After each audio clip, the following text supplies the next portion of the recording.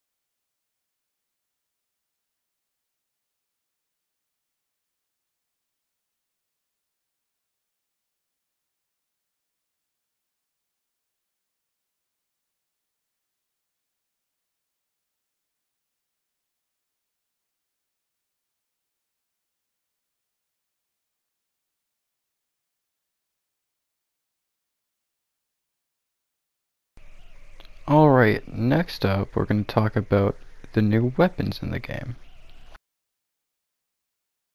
So first up it's the new Reaper Scythe weapon. This thing is pretty dangerous. And it's pretty overpowered, but as you'll get to see, I didn't really get the chance to use it. Okay, next up we're going to be showing a new consumable and some unvaulted items. Alright, so the first one I'm going to throw into this list is a new consumable. Technically it's not unvaulted, but it's new, so I'm going to show what it does, and let's go.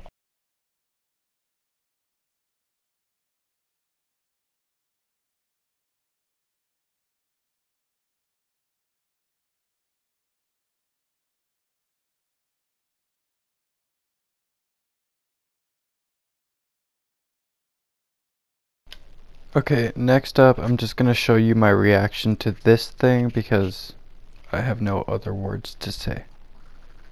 Wait, what the fuck is this? Um, what is it? There's this huge thing. Help, help, help. I'm gonna throw a pumpkin. Boom. Oh, it doesn't even do much damage. Alright, so we got pumpkin launchers back, we got many more consumables back that are unvaulted, like the jelly beans, the peppermints, the candy corns. And for unvaulted weapons, they brought back the witch's broom.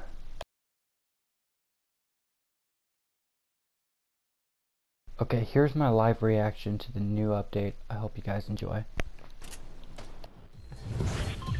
Oh, okay. Okay, I see you. Battle bus is looking looking nice. Not gonna lie, that battle bus is looking nice. Oh, like that. Okay. There's a new spot on that, boys. There's a new spot. What is this? New location. POI. Let's go. This is what we've been waiting for. Let's go. Whoa.